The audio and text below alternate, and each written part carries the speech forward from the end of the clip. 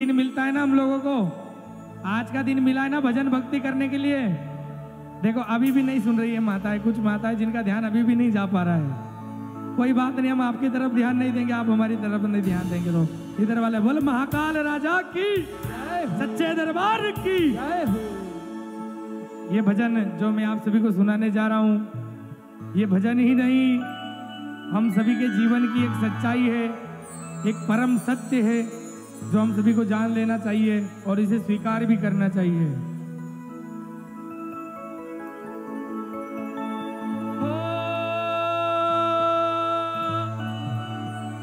इस काया का है भाग भाग बिन, पाया नहीं जाता। और कर्म बिना नसीब तोड़ फल, खाया नहीं जाता। महाकाल नाम जपिए। अरे महाकाल नाम जपिए। ये झूठा झमेला। ये झूठा झमेला। दो दिन की ज़िंदगी है। दो दिन की ज़िंदगी है। दो दिन की ज़िंदगी थोड़ी देर पहले माताओं की सबसे ज़्यादा आवाज़ आ रही थी। अब ऐसा हो रहा है कि एक कोई खड़ा भी हो रहा था उसको सबकी सब माता जी देखती, क्या हो गया? तो आप भगवान को देखे, इससे अच्छा तो आपको थोड़ा सा पूर्ण मिलेगा। और ध्यान भक्ति में रखे सभी लोग। अभी हम आए थे जब आप काफ़ी बहुत अच्छा मेरे से ज़्यादा, मेरे से ज़्यादा आप सभी लोग परफॉर्मेंस कर रहे थे अच्छा लेकिन अब ना जाने क्या हो गया। आप लोग ध्यान नहीं दे पा रहे। इस काया का है भाग भाग बिन, पाया नहीं जाता। और कर्म बिना नसीब तोड़ू फल खाया नहीं जाता। इसका सीधा सा अर्थ है, अगर भगवान ने आपके जीवन में दो रुपए लिखे तो सिर्फ़ दो रुपए ही मिलना है, और दो करोड़ लिखे तो दो करोड़ भी मिलना है। कोई ऐसा व्यक्ति है जिसको अपने मरने की तारीख पता हो? कोई ऐसा है जिसे पता हो? नहीं है ना? इसीलिए कहा, दो दिन की ज़िंदगी और दो दिन का मेला। दो दिन तो बहुत ज़्यादा बता दिए, साहब, हो सकता सिर्फ़ एक घंटा या एक मिनट या एक सेकेंड की भी नहीं हो ज़िंदगी। और यही सच्चाई है। कौन कौन मानता है ये बात? उठाओ दोनों हाथ। मिलकर कहो, क्या लेके आया जगत में? क्या लेके आया जगत में? क्या लेके जाएगा?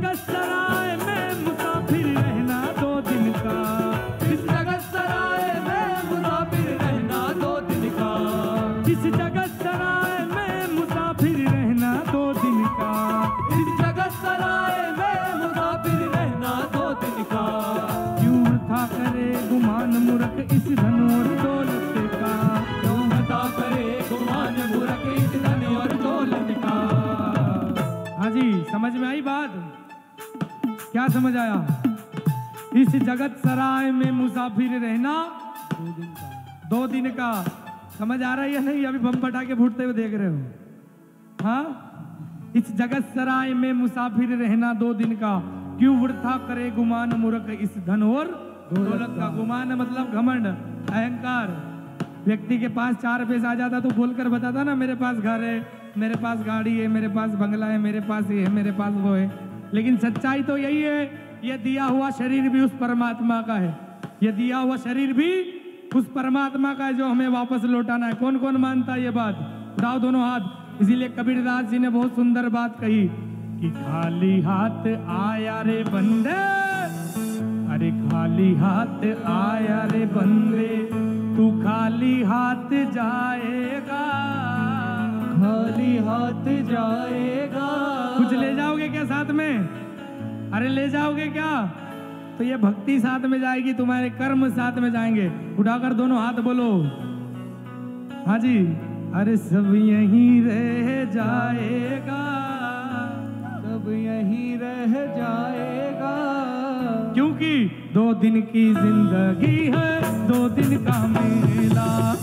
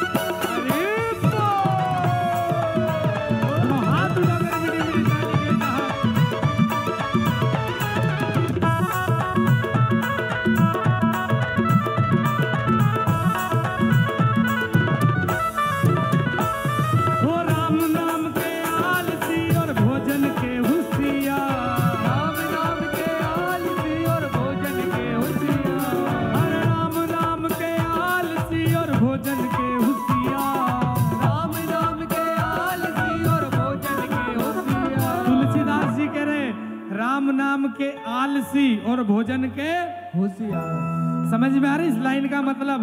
यानी भजन में बैठ कर भी भजन को नहीं गाना और नहीं सेवा देना उसको बोलते हैं राम नाम के आलसी और खाने के होशियार। हो तुलसी ऐसे जीव को बार बार धिक्कार तुलसी ऐसे जीव को बार बार धिक्कार कि राम नाम जप ले रे बंदे। अरे राम नाम जप ले रे बंदे, यही साथ जाएगा। यही साथ जाएगा। आखिरी में तो यही साथ में जाएगा ना, राम नाम सत्य है। अरे मिलकर कहो, ये बोलने में कभी शर्माना नहीं चाहिए, राम नाम सत्य है। तो आखिरी में तो यही होना है हम सभी का भी। होगा या नहीं? तो घमंड किस बात का कर रहे हो? सेवा करो ना दोनों हाथ उठाकर। राम नाम जप ले रे बंदे, राम नाम जप ले रे बंदे, यही साथ जाएगा, यही साथ जाएगा।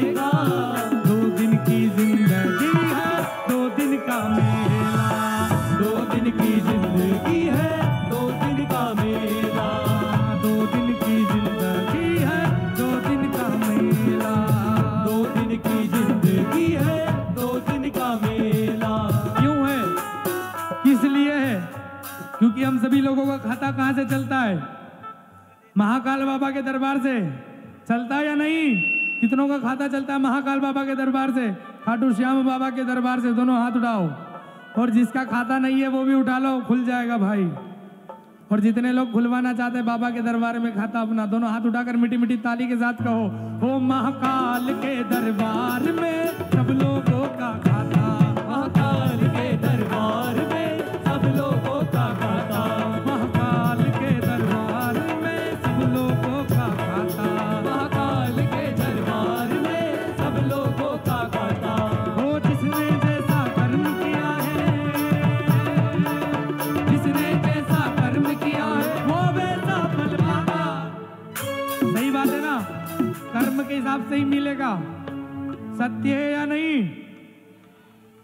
जिसने जैसा कर्म किया है, जिसने जैसा कर्म किया है, वो वैसा फल पाता। उठा लो ना एक बार से दोनों हाथ, और मिट्टी मिट्टी ताली के साथ कह दो, ओ मेरे पापा के दरबार में सब लोगों का खाता, मेरे पापा के दरबार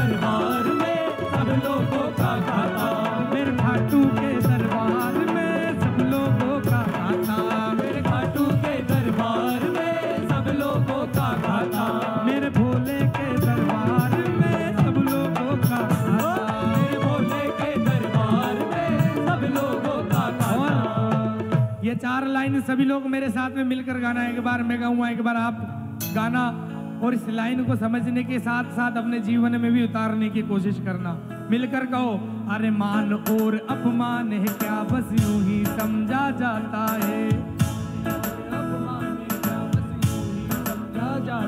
सही है ना? मान और अपमान है क्या? बस यूँ ही समझा जाता है। कौन बोल रहा है ये? स्वयं भोले बाबा बोल रहे मान और अपमान है क्या? बस यूँ ही समझा जाता है। लेकिन आज के युग में क्या हो रहा है? मान और सम्मान के पीछे व्यक्ति व्यक्ति को मार डाल रहा है। सही बात है या नहीं? मिलकर गाओ, मान और अपमान है, क्या बस यूँ ही समझा जाता है।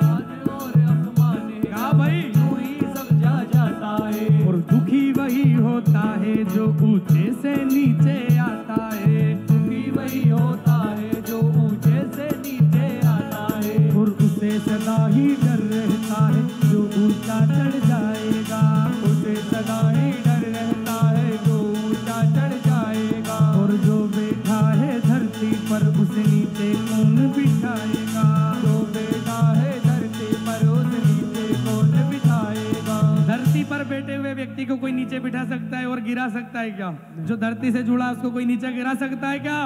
नहीं गिरा सकता। इसीलिए कहा मान और अपमान है क्या? बस यूँ ही समझा जाता है। और दुखी वही होता है जो ऊँचे से नीचे आता है और उसे सदा ही डर रहता है जो ऊँचा चढ़ जाएगा। जो बैठा है धरती पर उसे नीचे कौन बिठाएगा? क्योंकि मन ही है बेकार में जो संकल्प विकल्प बनाता है। मन ही